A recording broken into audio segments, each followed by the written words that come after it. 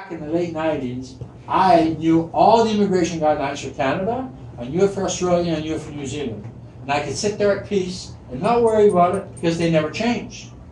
And then they reached a point where it was changing so fast. All the individual programs in Canada, Australia, New Zealand, every month it was changes. It's impossible to be somebody who's current with everything. So we have people who focus on that stuff now and keep us abreast. Okay, so that's why we started getting uh, Ken Ziegler's. We got you know, people, you know, they keep us abreast of what's happening.